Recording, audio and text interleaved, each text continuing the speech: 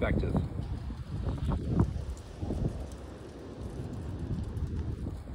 Enhance.